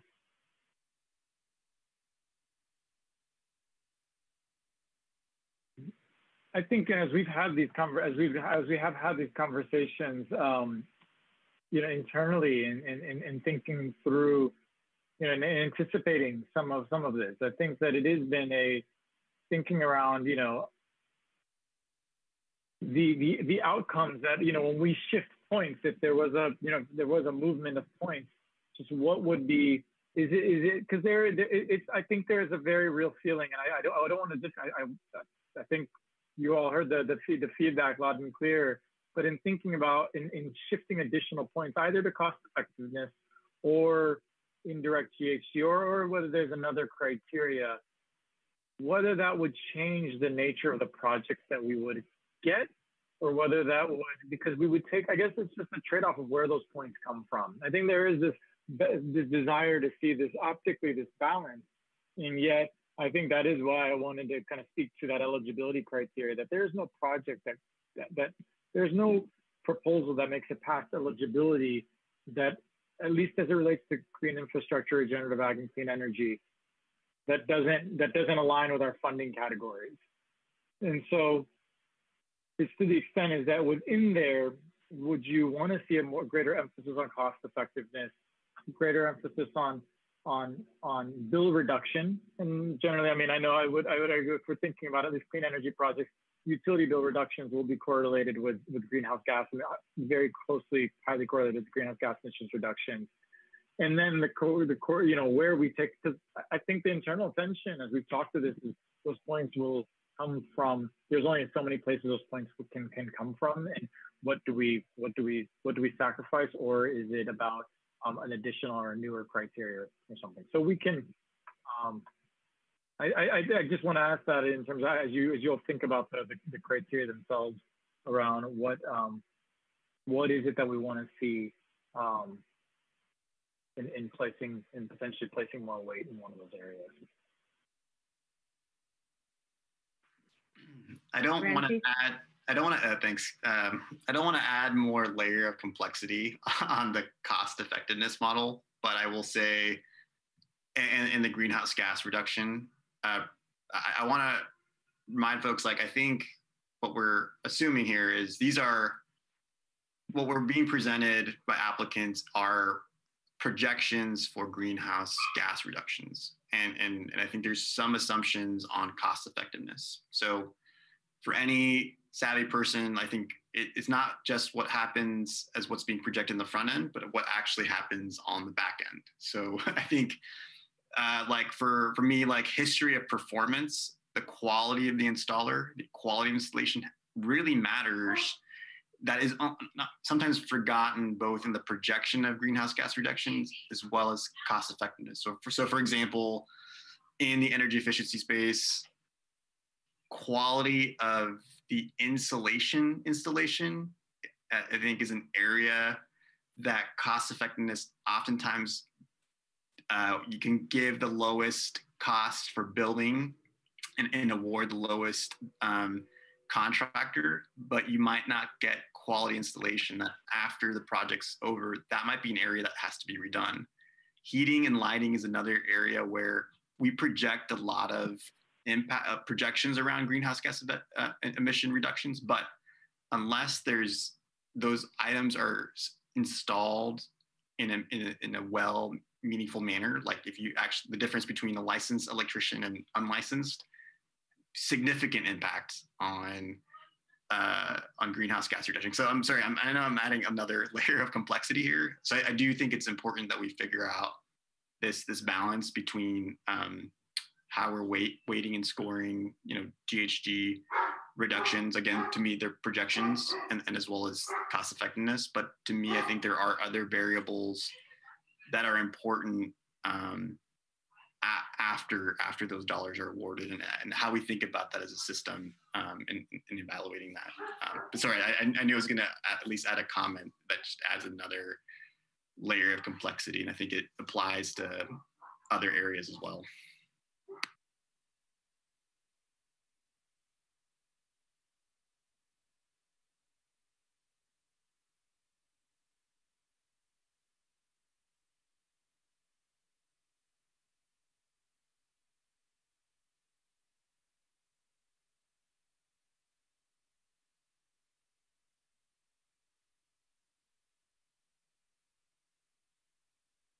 I'd love to hear, I'd love to just prompt anyone. If, I think you're going apparently, to go. apparently, Sam and I have the exact same amount of time we are comfortable with silence, which is why we always start talking at the same moment. Um, I just wanted to, I guess, ask other committee members about sort of thoughts related to that. Like, I mean, Megan kind of elevated this um, I don't know if it's a concern or just kind of like wanting to explore further this like this question of are we um, putting enough emphasis on GHG and kind of how that shows up in our in our evaluation. And so I'm just interested in seeing if other committee members have thoughts um, related to that.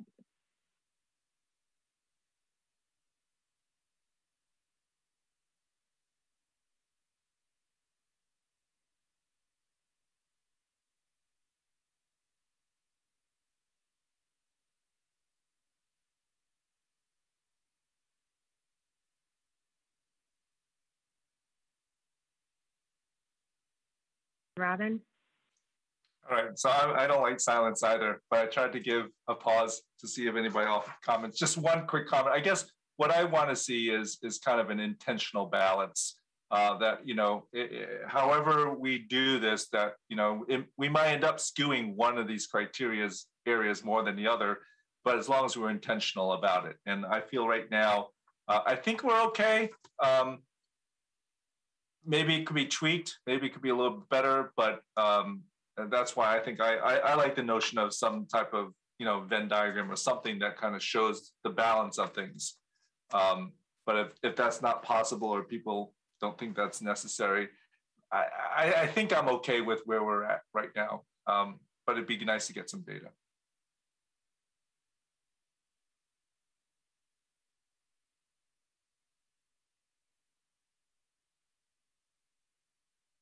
Robin, I think we can bring, I think we can absolutely bring a Venn diagram in some ways just to be able to hear from you all just additional thoughts because it would, what it helps us do is think about whether we need to think about alternatives and alternative options to bring you all just beyond that sort of visual presentation of how it could it look it'd be it, it's helpful. Any any other thoughts on sort of just the the that, that end outcome that you you want to see potentially more of and and we can think about how to how to either talk that through next time or, or, or illustrate that in an, in an alternative option.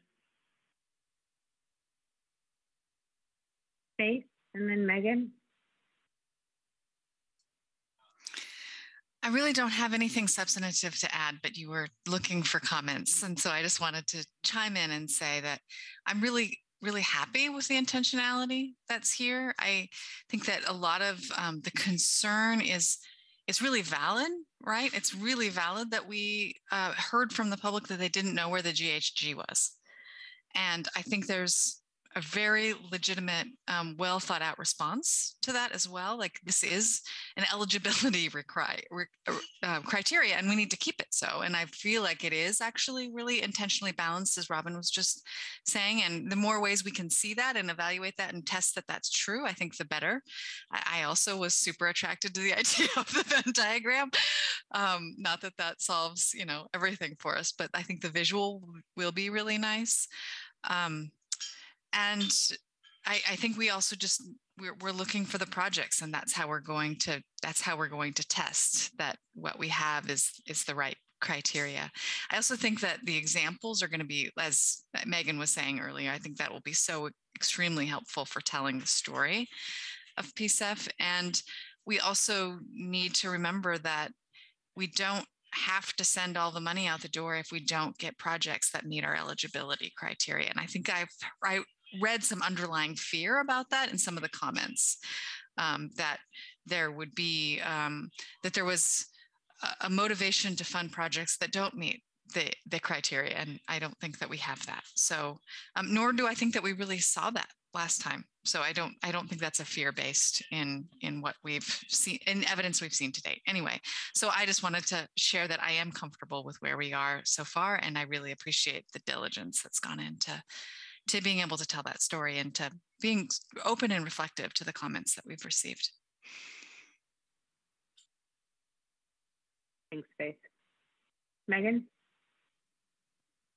Well, I'm open to hearing from folks who haven't spoken as much since I feel like I've gotten to talk a lot tonight. But Katie, you asked like on um, just on this topic. I mean, I just proposed a Venn diagram because I could kind of, I think we kind of did that exercise with RFP one. It might not have been that visual, but where we showed, and it didn't come through in the draft RFP two that went to the public, I don't think, or in perhaps in, so anyway, I think we have versions of it, but I could imagine that the current Venn diagram, if we had the four guiding principles like accountability, justice driven, that actually all of our criteria balances out a bit um, in there. And there's a few in the middle of it all.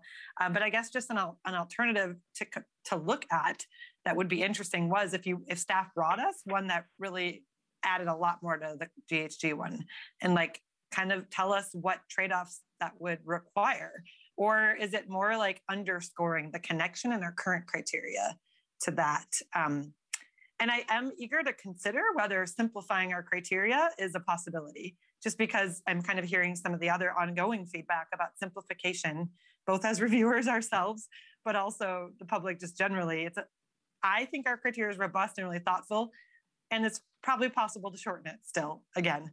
Um, so if that's possible to do while doing any other work, that seems worth asking staff to consider to bring us to consider. Um, so those are the kind of two points I would love to sort of see because at least it gives us a sense of what we're choosing.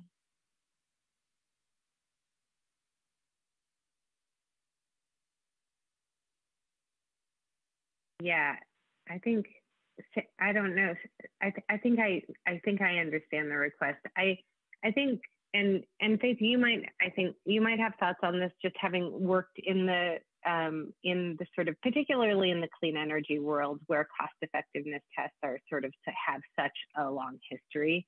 Um, I think probably less so in regenerative ag and green infrastructure, uh, infrastructure, just because those aren't really sectors that have, you know, been particularly funded um, much in the past. But in the clean energy space, um, they really are associated with lighter retrofits, less deep touch, and in many ways driving the benefits of those programs to middle and upper income um, white communities.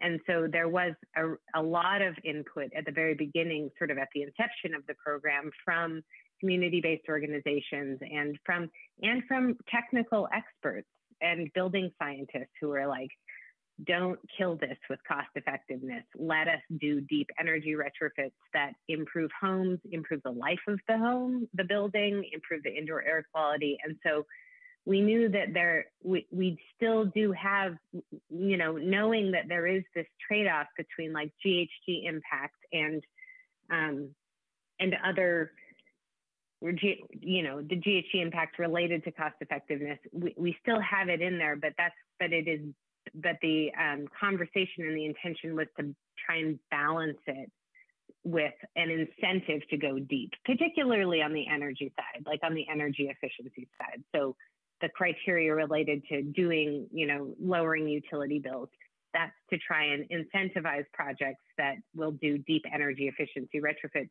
because in many ways any cost effectiveness test is going to disincentivize that and so that that was um, the balance and um, I know I'm not a committee member, but I will just say, as a staff person who, um, you know, does come from uh, many years working in um, in the energy industry, this is one that is um, sort of like the, the, whole country, across the whole country, energy efficiency programs. This is sort of like the the thing that keeps the benefits from low income communities and communities of color. Well, to me, I mean, I'm yeah, I heard you and Ramfis sort of accentuate this point. And then to me, it's simply that we're just not communicating that as clearly as we could be, maybe in the criteria when we say lowers costs. Maybe we just have to draw out that connection that you've made for me very clearly, a little more clearly. And I think we kind of do in the evaluation rubric, but maybe in the end, just the short phrasing of it to the public doesn't like you don't you I wouldn't necessarily make that jump right away that like there's a greenhouse gas component to lowering costs, especially coming from the regenerative ag world, because you could mean food produced because um, that lowers totally. monthly meal costs, which is very important. And I think it is something we should value, but it doesn't have necessarily a very measurable greenhouse gas reduction. And, and the regenerative ag world is harder to measure in all this stuff.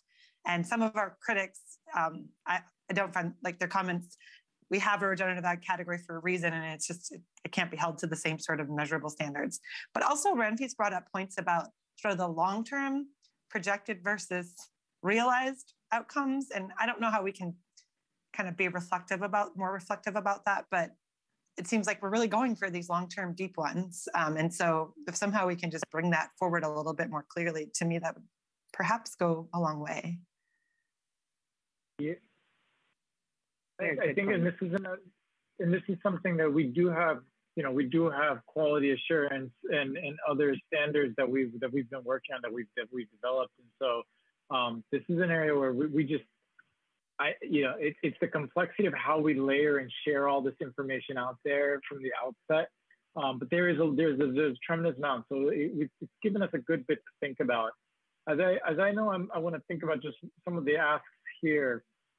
Sometimes it's helpful to know like what is what are we you know is there a project in a sense or is there a thing in a sense that we're afraid of because it helps us sort of work back from that and think about whether there is uh, whether there is something that you're like you know, I want to, I want to just to, if there is something out there because, you know, I, I certainly reflect back on looking at the projects that rose to the top of the last round.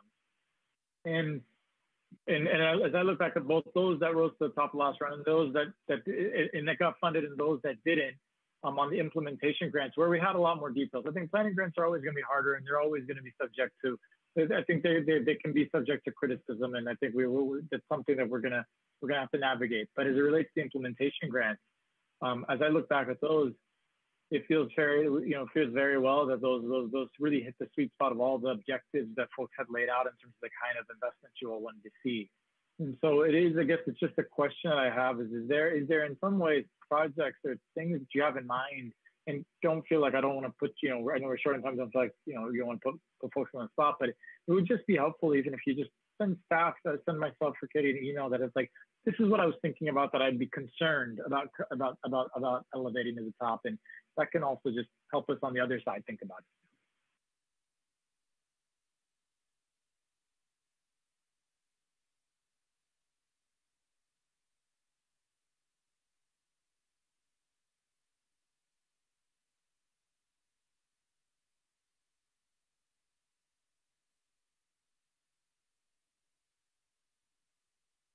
short of that, I know that we can come back with both just different visualization and and and, and a couple at least options for food for food for thought and to be able to at least talk about the implications of them so you at least have a counter to, to, to be able to think about what we currently have in front of us.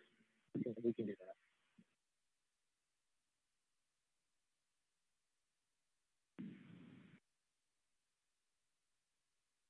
We're about at the point in the meeting, I mean, we've got one minute on the agenda until closing comments. So, um, and I know we're keeping you half, an extra half hour for the meetings this week. So really want to just appreciate you and know um, that it's kind of late. Everybody's um, probably getting a little, little tired of looking at a computer, but um, if there are any committee members who want to make any closing comments before we um, before we close the meeting.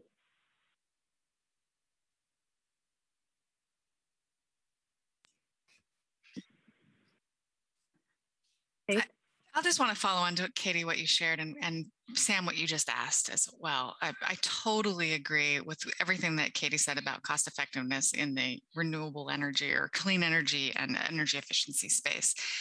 The cost effectiveness tests that are established in, by uh, or, or um, lead to investment by utilities um, and are established by utilities, right, have led to the, the kind of need for PCEF in those kind of projects. And so I guess that is also the answer I would give to you, Sam, is what kind of project am I afraid of seeing? The business as usual project that can be funded with other sources.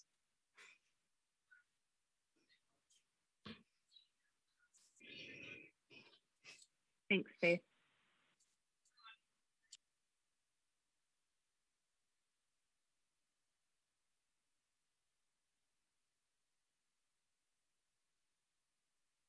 Nobody else has any comments, I feel like that was a little bit of kind of like a mic drop, drop public com- or, you know, closing comment. So appreciate that, Faith.